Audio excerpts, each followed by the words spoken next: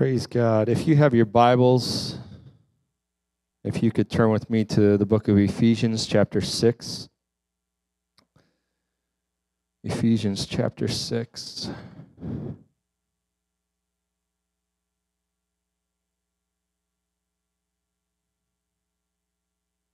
Ephesians 6 10 through 14. If you were here last week, uh, we talked about balance. Um, we did not get into a series at that time, uh, but I think for the next uh, few weeks, uh, we will be in a series and just going to title this The Full Armor of God. And this, of course, would be part one. Uh, Ephesians 6 10 through 14 says this Finally, my brethren, be strong in the Lord and in the power of his might. Put on the whole armor of God, that ye may be able to stand against the wiles of the devil. For we wrestle not against flesh and blood, but against principalities, against powers, against the rulers of the darkness of this world, against spiritual wickedness in high places. Verse 13 Wherefore take unto you the whole armor of God, that ye may be able to withstand in the evil day and having done all, to stand. Stand therefore, having your loins girt about with truth, and having on the breastplate of righteousness. Again, I'm going to be talking to you tonight about the full armor of God. This is part one. Let's pray one more time. Dear God, I thank you for your word. Thank you for your presence. I thank you, God, that you equip us and you show us and you give us everything that we need to live life and not just survive, but to be overcomers, to be conquerors, to be what you have designed us to be. And I pray, God, that your word would touch our hearts and reveal truth. Show us the right contrast. Show us the right things that we need to see and help us, Lord, to make a commitment to not just be hearers tonight, but doers as well. In Jesus' name we pray. Amen. You may be seated.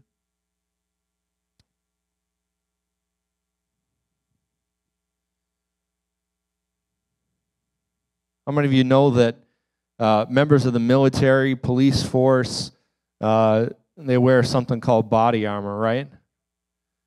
Uh, uh the different iterations of body armor have changed over the years as uh, technology has improved and things have changed. Um, the first iterations of body armor were uh, helpful, but not super helpful. They would stop a little bit of shrapnel, but uh, not much small arms fire. fire. Uh, even a pistol would shoot through uh, some of the early body armor. And then they moved on to metal plates that you would put in a vest and you'd wear. And um, those were resistant to a lot more, but the problem was uh, a bullet would hit that plate and it would fragment, and that metal did not ab- absorb any of the any of those pieces. Uh, so then you'd have a case where shrapnel could still splinter off and injure uh, the person. And as far as I understand, I, obviously I don't know where the technology is at exactly, uh, but one of the latest iterations is uh, a plate that is uh, ceramic. And the idea behind the ceramic plate uh, is that it not only stops the bullet, but it contains the pieces of metal as well. Uh, so you don't have as much risk of uh, shrapnel hurting you. Uh, I was reading, and it, it's really interesting. There, people in the military will tell you uh, the different armor that's available to them. And it gets to the point where you just, there's some armor that they just can't wear because they can't hardly move, right? You, you could wear something, you could, you could wear something that could protect you from just about anything, but uh, at some point it gets very difficult to move. It's very difficult to wear. Uh, one of the people that I was uh, reading up on was saying that it takes a long time to put on this armor, to wear it around, uh, to exercise in it, to run in it, to do all the things that you'd be doing in combat with this armor. And you have to do that for a period of time so that you can know how tight you need to have it, how loose you need to have it, so that it's not only functional and protects you, uh, but also allows you to move and allows you to uh, maneuver. I was really shocked to find that most of our soldiers that are overseas uh, fighting in wars, guess how much armor they have and how, how much their gear and their armor weighs?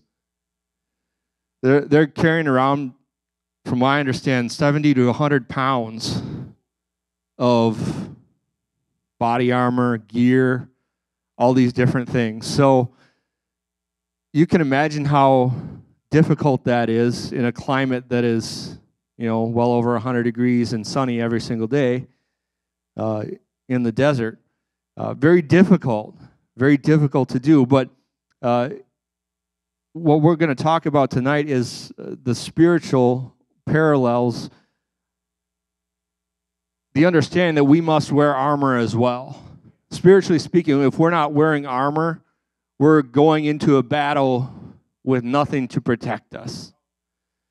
It's true that a person who's not wearing any armor can run and move faster than someone who's weighed down by 70 to 100 pounds of, of body armor, but it takes a lot less uh, to remove that soldier from combat. The people the soldiers that I was reading up on said, you know, yeah, you have the advantage of speed, but it's not going to take much. One one wound and you're going to be out of the fight.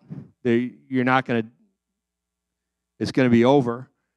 Uh, whereas with body armor, you have a chance not only to live but to uh, be able to get to safety or perhaps continue to fight in some cases. Um, but the armor of God is not uh, fleshly armor. This armor is designed by God for us, knowing that what we need. Uh, the way that the Apostle Paul and different writers in the Bible describe this armor was through the lens of what they knew historically, right?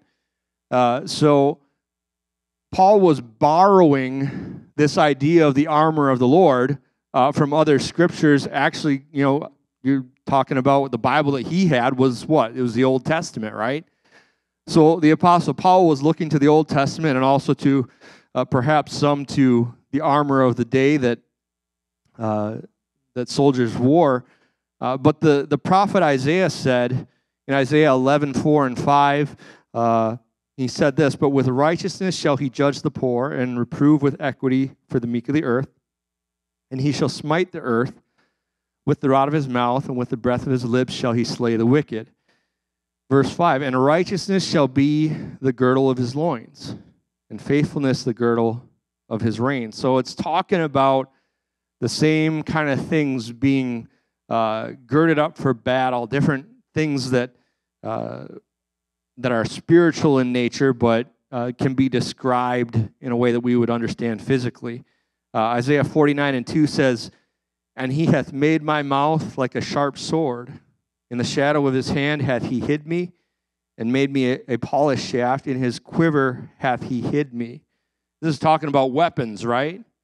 This is talking about God making us and teaching us how to use the tools that He's given us, uh, not only to defend ourselves, uh, but to advance forward in a world that is uh, full of spiritual wickedness. Isaiah 52 and 7 says, How beautiful upon the mountains are the feet of him that bringeth good tidings, that publisheth peace, that bringeth good tidings of good, that publisheth salvation, that saith unto Zion, Thy God reigneth. It's talking about the same kind of things, the, the, the parts of the armor that we're going to talk about in this series. Uh, all the way back in Isaiah. Isaiah 59 and 17 says, For he put on righteousness as a breastplate, and an helmet of salvation upon his head. And he put on the garments of vengeance for clothing, and was clad with zeal as a cloak. So, this, when you talk about the full armor of God, it's not an armor that was designed by humanity. It wasn't designed by people. As a matter of fact, uh, God speaking to and through his prophets is describing these concepts that this, this is what your armor is going to be like, uh, giving us an understanding that we might be able to uh, make out something that is uh, familiar to what our eyes can see, but the phrase be strong, right? Be strong in the Lord. That's actually an echo of Jehovah's words to Joshua as he was sent uh, to continue the mission of Moses and lead Israel into the promised land. Joshua 1 and 6 says, Be strong and of a good courage. For unto this people shalt thou divide for an inheritance the land which I swear unto their fathers to give them. And again, the phrase be strong is used as Zechariah's words regarding God's promise to make those who return from Babylonian exile strong in the Lord. Uh, Zechariah 10 and 12 says, And I will strengthen them in the Lord, and they shall walk up and down in his name, saith the Lord. So, what Paul was preaching to his congregation, to the people at the time, was something that he was drawing from the prophets armor and uh, different weapons and tools that God had given uh, throughout the Old Testament and continuing into the Old Testament because the Apostle Paul began to understand that these spiritual protections were for the spiritual warfare that the early church was very much a part of, something they were very, very familiar with. Um, you could say that the Apostle Paul's congregation was at uh, different points where it was do or die. I mean, it, it really was. It, if we think that we're persecuted today, we are not. Compared to them, we are not. Uh, it is, it's not really close at all. But what Paul was telling his congregation was if we face death, who knows what today holds? But what we've got to learn, what he was telling his people, is we've got to learn how to be strong in the Lord, not in our own abilities. Because throughout history and continuing today, we try and do stuff ourselves, right? We think, well, I can handle that. I can do that. I, I, I, can, I can figure this out. And then we, we come to the Lord and we find out that it's, it's harder than we realized it would be. And we thought, hey, this, this was either supposed to be easier, it was supposed to be something that I was supposed to be able to do. But we would do well to listen to the Apostle Paul that it's not in our strength. It's not in our abilities. And learning to be strong in the Lord, in the power of His might, that can take time. That, that's not something that that oh I, I came into church and, and now I understand it fully and I, I, I can do it very easily because we're not used to surrender, right? We don't want anybody else telling us how to live our lives, right? That, that's contrary to our culture, that's contrary to our nature. And many times we find ourselves in a situation we say, God, if you just let me take care of this, I could handle this. I could, I could take care of this for you. But the answer is not in our strength and not in our ability. You see, in Bible times, there were the war was set out in different ways, right? you had some soldiers who were maybe on the walls of the city and they have a bow and arrow or something. They, they'd be the archers. And then you'd have other soldiers that were riding on horses or in chariots or whatever it might be. Uh, there were different types of soldiers, but what it's talking about here is foot soldiers. When it talks about us as Christians, we should view ourselves as a foot soldier and the armor is designed specifically to protect uh, a foot soldier. I could uh, probably try and make some connections with um, uh, the different riders and the different warriors and the different uh, types of soldiers that they had. Uh, but really, what this is telling us when you put on this armor, when you understand that you're in a spiritual battle, we need to realize that it's not about doing things that we used to do. It's not about doing things the way the flesh would want to do it, the way we used to do it in our own abilities. Because Ephesians 4:24 says, "And that ye put on the new man, which after God is created in righteousness and true holiness." It's not just about taking armor, spiritual armor and applying it to our old flesh. It's about being born again, right? That's how we enter the kingdom. And everything is new in the kingdom, and old things are passed away. And we rejoice over all these things. And we also need to learn that in order to survive in a spiritual environment, with this new life that we have, it's going to take spiritual armor. And we've got to understand what it is and apply it in our lives. So it's interesting to me that we are foot soldiers, not horsemen or some other type of soldier. And it reminds me of uh, the prophet Jeremiah, what the Lord said in Jeremiah 12 and 5. It says this If thou hast run with the footmen, and they have wearied thee, then how canst thou contend with horses? And if in the land of peace wherein thou trustest, they wearied thee, then how wilt thou do in the swelling of Jordan? What he was saying was, listen, Jeremiah, you're, you have issues, you have legitimate things that are happening in your life right now. But what the Lord is telling him is, you've got to learn to trust in my strength, and you've got to learn to wear the armor that I've provided for you. Because if you don't do that, the next thing that's coming is going to wipe you out. The next thing that's coming, you're not going to be able to withstand. And that's why when you read, especially the first part of the book of Jeremiah in Jeremiah chapter 12, he faced some intense battles. Throughout his life, there was different times he was, uh, most of the time, his own people wouldn't listen to him. They mocked him. Uh, they threw him in pits. They threw him in prison. Uh, they left him for dead. There was all sorts of things that he had to go through, and it wasn't just a physical thing. It was because he had a word from the Lord, and they didn't want to hear it. There was a spiritual battle that was happening, and he was doing the right thing. He was delivering the message, but the message was not being heard, and he was suffering dearly because of that. Now, thankfully, he was a man of understanding and he kept at it and uh, he made it to the to the stronger levels where when he started it was just oh my brothers my family uh, the church as it were they don't seem to like me they don't seem to listen to me well that was tough in itself at first. But he had to learn strength from that. He had to learn how to wear the armor through that because one day he was going to be in those pits and he was going to be in prison. And I think if it's good for the prophet Jeremiah, and if it's something that he had to learn and understand, that we should expect nothing different for ourselves. I was reading some commentary on this subject. Um,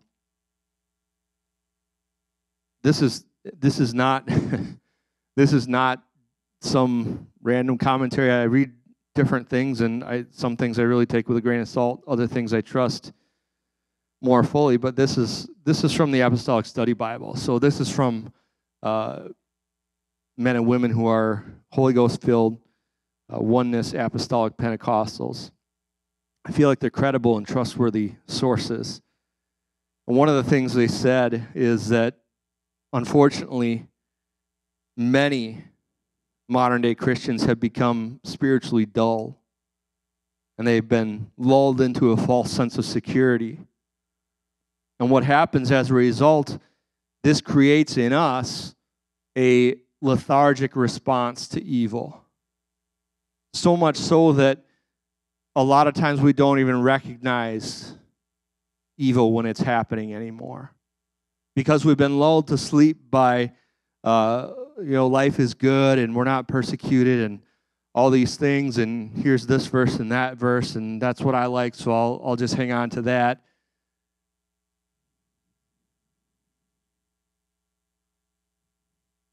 And we get lethargic and a lot of times, Christians today, we read Ephesians 6 12 and these verses about putting on this armor, and it sounds it sounds primitive, right? It sounds like, oh well, that was that was something for armies of the past, and technology has changed so much, and that was just for the early church.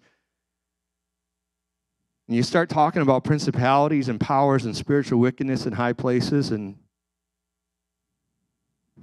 people say, What? What, what are you talking about? What?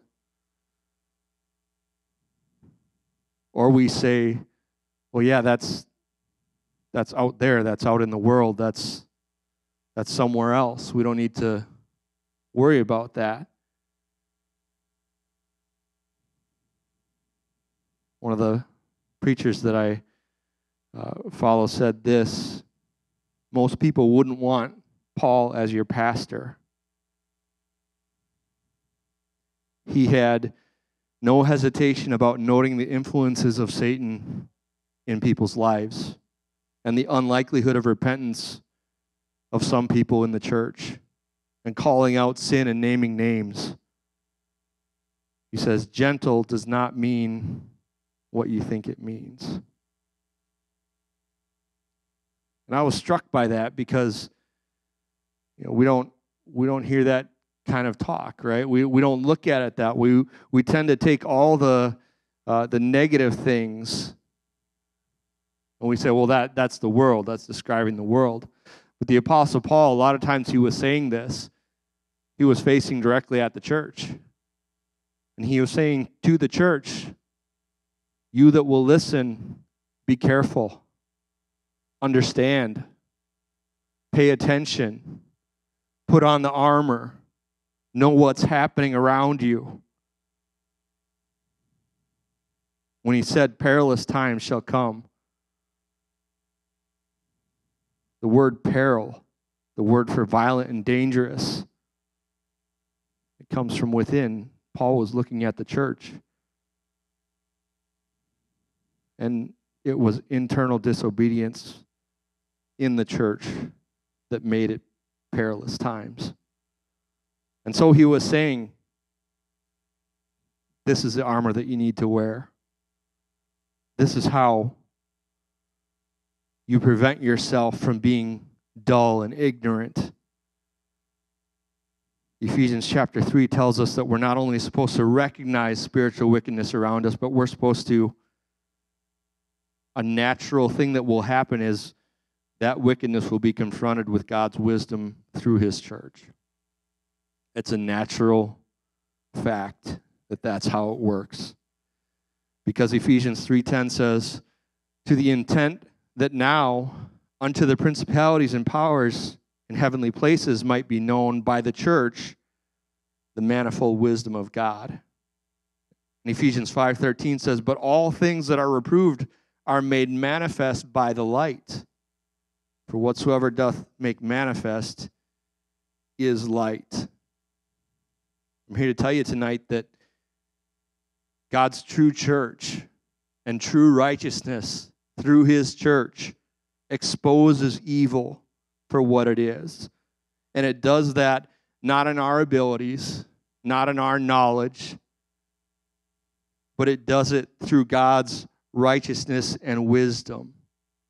It's a natural thing, it just happens. That's how the church works. That's how he works through the church to bring light to a dark world.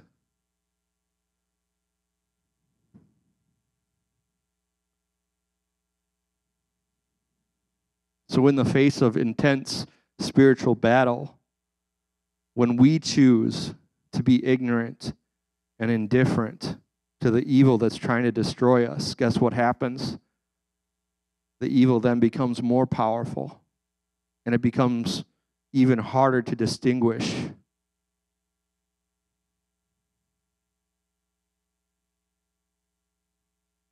You see, in Paul's day, evil powers operating behind the scenes spoke to experiences that were more real to the early church than the stones and the blood and the flesh around them.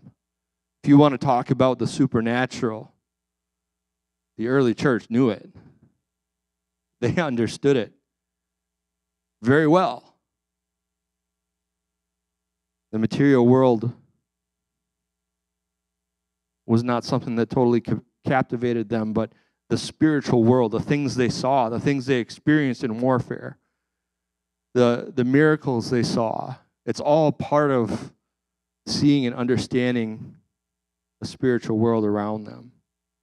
And so the Apostle Paul was, of course, giving the divinely inspired word of God here, and he was understanding that this armor was necessary because of the enemy's nature. He understood we're not dealing with mortals. He had an understanding that our enemies are spawned somewhere else. They're spawned in lofty heights of another atmosphere and specifically prepared to wreak spiritual destruction on my life and on your life. The Apostle Paul and the early church knew that it was no joke. They knew every single day that Satan was coming for them. Were they afraid? No, I don't believe they were afraid, but they were aware and they understood. And we need to be as well.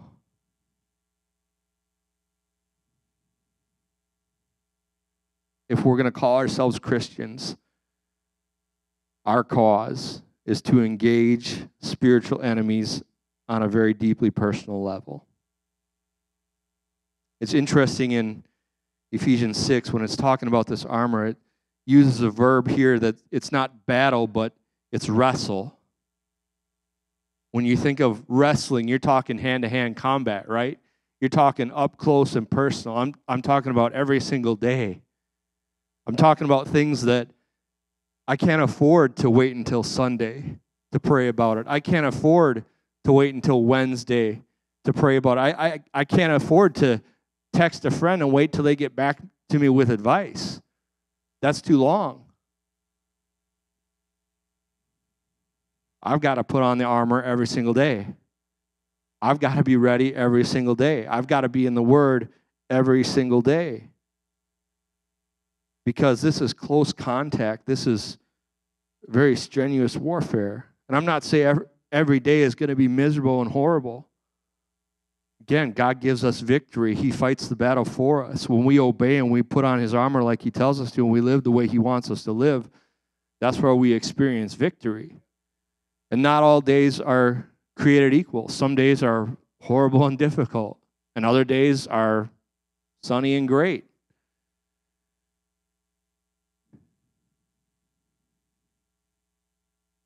But you see these demonic spirits that Paul was talking about. He had a greater understanding, I think, because he realized that the spirits that were oppressing the church were the spirits that were being worshiped by the world around them, right? Paul knew this completely. He knew their idols, he knew the names of their idols, he saw what they did, he understood about the different gods that they worshiped, even from the ancient world. And what he's saying to the church is yes, maybe we have a history with that. Maybe before we were saved, we were doing the same things, but we've been translated out of that. We've been transitioned out of that. We're no longer under the jurisdiction of those spirits. When you receive the Holy Ghost, when you're baptized in Jesus' name, it's a new life, it's a new person. Those things don't have that power over you. But it does not mean just because we've been removed from their lordship in our lives, it does not mean that we're pulled out of the situation now we don't have to deal with it anymore. As a matter of fact, all it means is we're just being turned around and saying, now go fight against what used to control you. Now go fight against the things that used to have you as their prisoner. Go to battle against these dark powers. Being a Christian means conflict is necessary, it is required for the simple fact that the enemy hates your resistance. He wants to tame it, he wants to quiet it, and eventually he wants to kill it. I heard a preacher say one time that the devil doesn't care so much about killing you physically, he just wants to take the fight out of you. He just wants to make you seek a life of ease.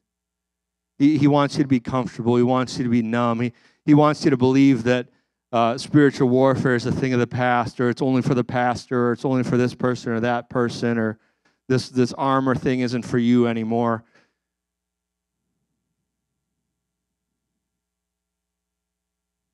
If that's, if he can get us there, I don't believe he has a problem letting us come to church on Sunday and Wednesday. As long as we don't believe that there's a real battle going on, I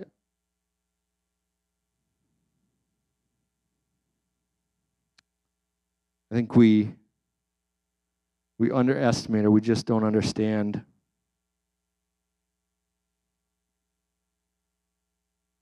sometimes his tactics. And so the word and the spirit of God are designed to help us. Verse 614 of Ephesians says tells us about the first specific piece of armor and that is truth. And this is appropriate because the enemy does not employ brute force against you. The, the enemy doesn't come against you spiritually and, and, and literally chain you up in your house somewhere. Um, can people have experiences like this? Absolutely. It can happen that way. But more often than not, the devil works subtly to get at us. He hides his fatal weapons under a clean, nice looking cloak. And this is how he makes evil appear good. And if we're not careful, if we're not paying attention, if we're not walking in the Spirit, we're going to look at it and say, that's good. It looks good. Everything looks good.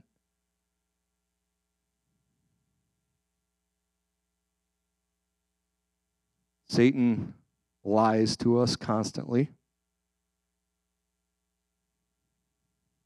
And his lies usually come to us first with that light bulb moment is, oh, wow, I never heard that before. That sounds really good. That sounds right.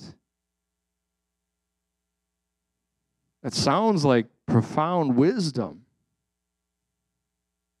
But the Bible tells us in 1 Timothy 4 1 and 1 John 4 1 that his attacks often come through beguiling heresy.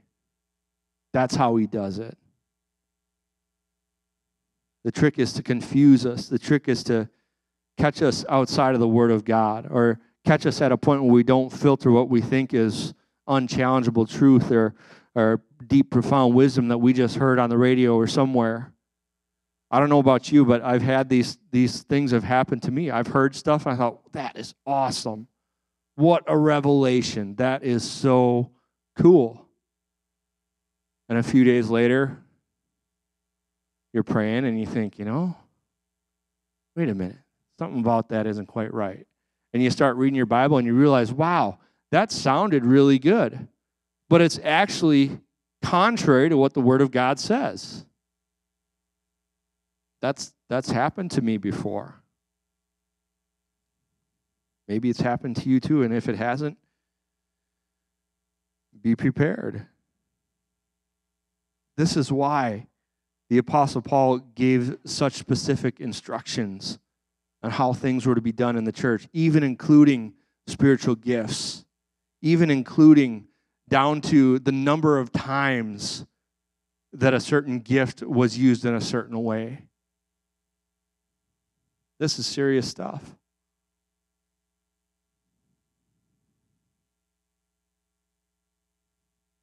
So, the girdle or the belt is what enabled the warrior to fight furiously without hindrance.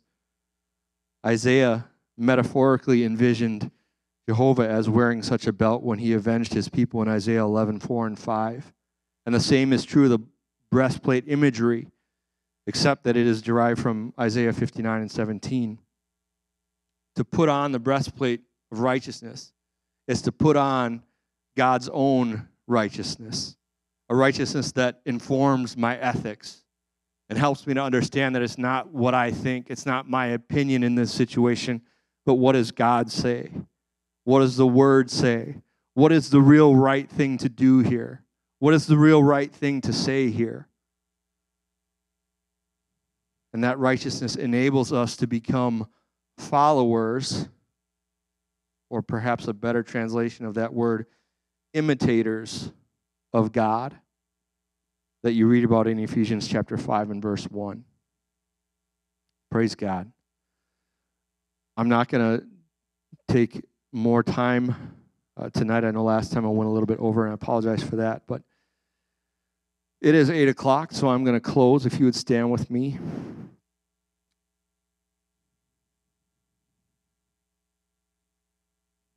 to recap what we're talking about in Ephesians chapter 6, the first thing that we need to do is not the first piece of armor that we need to put on. The first thing that we need to do is to pray and surrender to God and learn to be strong in Him and in the power of His might and not our own abilities.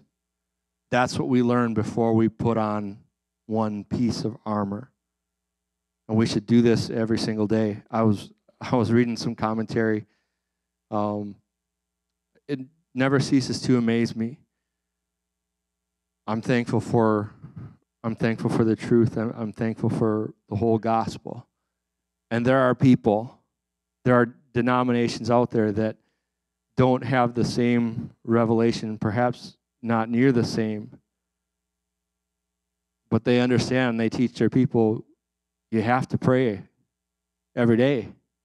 You have to get up and pray. You have to read the Bible. It's not negotiable.